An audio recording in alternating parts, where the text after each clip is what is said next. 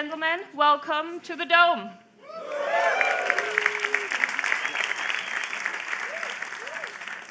As I already mentioned in my introduction, this is definitely the best stage at Dept Festival. From esports to mindfulness, from Philips to Salesforce, the lineup is impressive. Now let me quickly introduce myself. My name is Josephine. I'm Marketing and Business Development Director at Dept Germany. And today, my most important job is to make sure that you guys have a good time. So, are you having a good time? Okay, that's already quite good, but you have to be a little bit more specific. So I'm going to give you a scale from one to three. One is, I'm totally annoyed, not in the mood. My neighbor stinks, take me back to Schiphol. Two is, yeah, it's okay, could be here, could be somewhere else, don't really care. Three is, I'm really happy to be here and I'm excited about the people, the party, and the lineup. So, are you ready? Okay. Who's super unhappy to be here? Then say the three words, take me back. Okay, that's good, that's good. Who's okay, but would we rather be at work today? Then say, okay. Okay. And if you're enjoying yourself at the one and only Dept Festival, give me a thumbs out and shout, I like! Amazing. Didn't expect that to work at the beginning, so this is great. Cool. Okay, and since you guys have been so brutally honest with me, I will also share my mood with you. And to be really honest, when I started preparing for this day, I was at a one. I was so nervous. But then I found something which helped me relax. I found yoga. I'm probably the last person on earth to try yoga, and this is basically because I thought this is such a cliche thing to do. But now that I'm doing it, I really enjoy it. And uh, since I still feel a bit stressed, I was hoping you guys could help me get ready for the day. So I know we are like packed with people, but if you could just stand up for five seconds, that would be really amazing. Oh my god, I really did not expect that to be so crowded. okay, let's give it a try and try not to punch your neighbor, okay?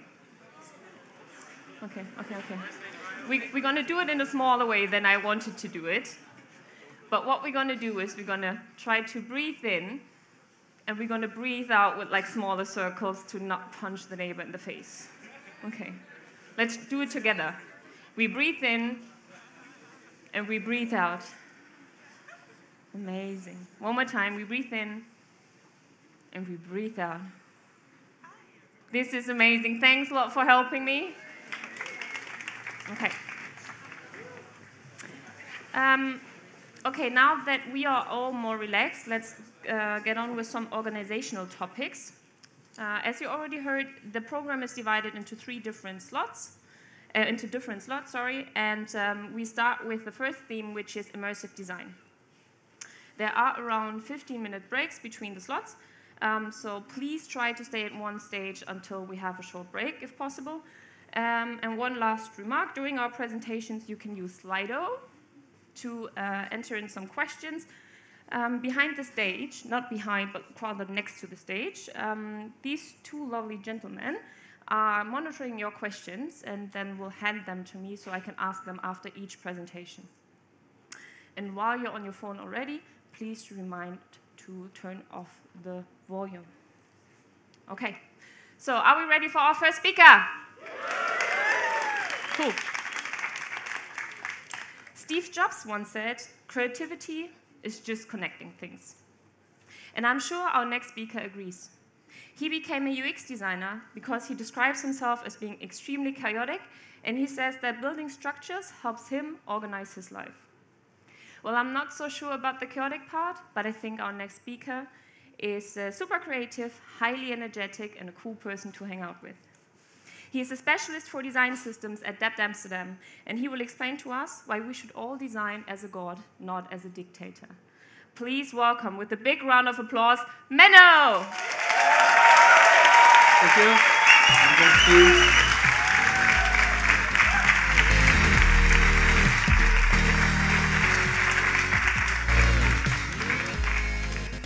Good morning, Dept Festival. How are y'all feeling? Good, good, good, good, good, good. Okay, cool. I'm just sizing up the room. The room is smaller, but the crowd is bigger than expected, so that's nice. Um, my name is Menno Dekker, and uh, I'm a UX designer here at Dept. And when I started out as a designer, I learned all the programs by heart. Sketch, Photoshop, Illustrator, After Effects, all the shortcuts I remembered from the top of my head. And I have no doubt that any designer here today in this room did exactly the same thing. Damn, at some point I felt like a trained piano player at these programs. But then, in 2017, this happened. What you're looking at is Airbnb testing out their sketch to wireframe tool. And the idea is really simple. You draw something on a piece of paper, you put it underneath the camera, and what you get back is a fully coded template in return. My first thought when I first saw this was, shit, there goes my job. Because what I can do really fast in 15 minutes, this machine does in 0.3 seconds. But then my next thought was, well, maybe, maybe they are right, because this is actually really smart. What they have done, they have taken their pattern library, their style guide, and all of their components, and combined it into one. And this enables them to quickly think, test, build, repeat, think, test, build, repeat. That's genius. So I started doing what they were doing design systems. And a quick recap for those who don't know a design system is a way of categorizing your digital service into components. You start with the most basic components like a background, uh, border radius, some colors, and a typography. And from those basic components, you can make bigger components, like a button, which you then again can use in even bigger components like a login page or a password forget page. The difference between this and a regular style guide is that instead of just defining how these components should look and behave, is that they become interconnected. Meaning, if you change them in one location, they change in all the others as well. Okay, you get the point. I dove into design systems quite deep. Months went by without seeing my friends and family while I was reading up to atomic design and semantic UI. And I tried to convince all my colleagues to do the same thing. Well, all I got back in return was, do we actually need this? Luckily for me, I wasn't the only one who thought that the idea of designing this way is interesting. The companies you see behind me understand that if you want to innovate the products you make, you first need to innovate the way you make them. Switching back to 2019, and I hear the phrase, we need a design system being dropped like it's hot at the start of every project. And it makes sense, right? For designers to claim to want consistency, because consistency does two things. First and foremost, it helps the user to actually have a consistent user experience. Secondly, it helps us, the designer, to not constantly have to justify our own choices with clients and stakeholders. So, you know, we don't, we can actually get some work done. But still, we designers also have this tendency to change our own rules on the fly, like dictators of design telling everyone that the rules we just came up with ourselves, nah, they don't apply here. We need a different approach here for in order to, to work, uh, or yeah, it feels off, so we need something else. Deviating from our own consistency. Driving our teammates, especially developers, insane with our unpredictable approach. Generating a lot of designs that are too far apart from the real thing.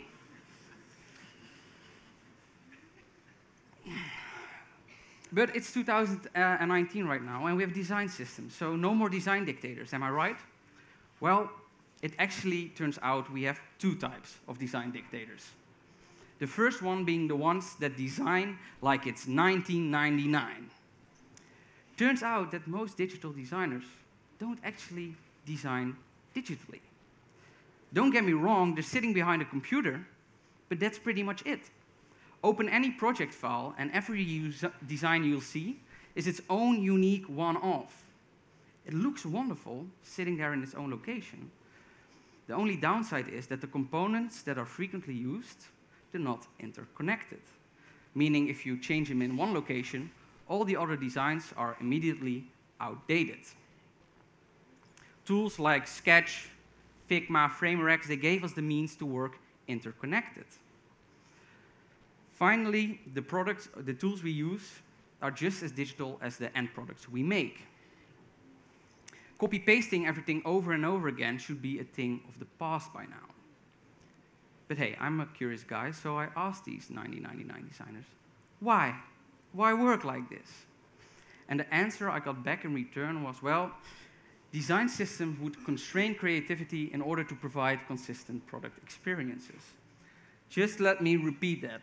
Design systems would constrain creativity in order to provide consistent product experiences. They told me if you want something like that to work, you need a lot of time. Because first, you need to find clicker. First, you need to find every style and component before you can pour it into a framework where you make the basic components and the bigger components on top of that. And you guessed it, if you're not working for Google or Dropbox, ain't nobody got time for that. They much rather quickly iterate instead of having to think of everything up front. And if that means that some designs, or maybe all designs, are going to be outdated from time to time, so be it. On the other side of the spectrum, we have the digital design dictator. You know, people like me. telling everyone that we can't do certain things because they're not coherent to the rulebook. Creating a somewhat complex system that kind of limits creativity. And I mean, it limits creativity makes sense, right? If you always use the same structure, you're always going to end up with the same result. And even if that is what you're looking for, the maintenance of such a system can be of extremely high effort. So there we are, everyone shouting, we want a design system, but no one bringing them to their fullest potential. All because the way they currently work is like a child on a swing, wanting, after one push, more attention and an even bigger push. While what we actually want are systems that work like a child on a bike, after one good nudge, finding their own momentum. This made me a little sad. I don't like to design as a dictator. Neither does my team like me if I design like a dictator. Not when I design like it's 9099, and also not when I create a complex rulebook that nobody gets. Instead of designing like a dictator, I want to design as a god, creating a design Garden of Eden where everyone wants to live, where things can evolve in their own way. So I needed a different approach. Would it be possible to design like I want to design in the future, where things can evolve in their own way, but using the tools we have today. And this is the point when I started tinkering around with emergence. Emergence is when complex stuff comes into existence out of simpler stuff. Just, just take a pixel as an example. A pixel is just what it is. It's a square with a color. But when you have a lot of pixels, an image emerges the image is emerging out of the simpler components. And this got me thinking, would it be possible to do the, to do the same thing with digital design? So whenever I create something, I won't use a design system where one thing needs to be built on top of the other, but I'll just use the basic components only. I'll only reference them. So whenever I make something and I use an opacity, um, rotation, some colors, some lines, I'll only reference them, and the bigger components, I'll let them emerge out of them. And what happens now is really cool. Because there are no rules how to use these basic components, they can range freely. They can go from 0% to 100%, meaning they become dynamic instead of static. So, when I start turning the knobs and dials of these basic components, I can start exploring emergent designs. Instead of having to think of what I want, I can just go out there and find what I want. You get all possible designs from the get-go. At any given point, you can just stop, watch, and see what your machine came up with. And it's not only about a lot of color combinations and crazy styles. It's more than that. If the contrast is too low, or it's not readable enough, or you need more accessibility, you just turn back the dial a little so you can find solutions to the problems you are trying to solve. The design you're seeing right now, it is not one design, but it's thousands of different designs. There are things in here that no one has ever thought of before, including myself.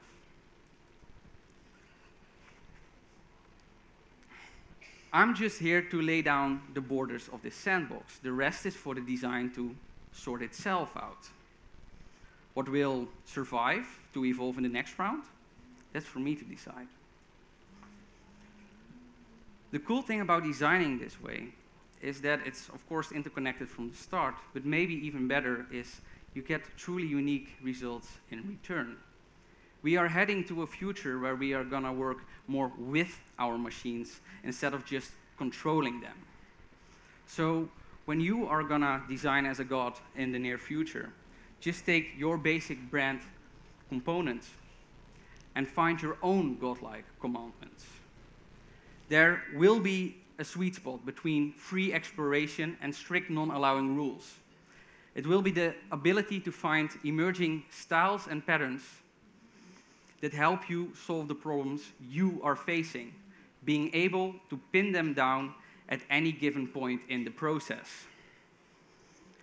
The tools for digital designers to start designing digitally, they are here. It is now up to us to become the gods that make design come to life. Thank you.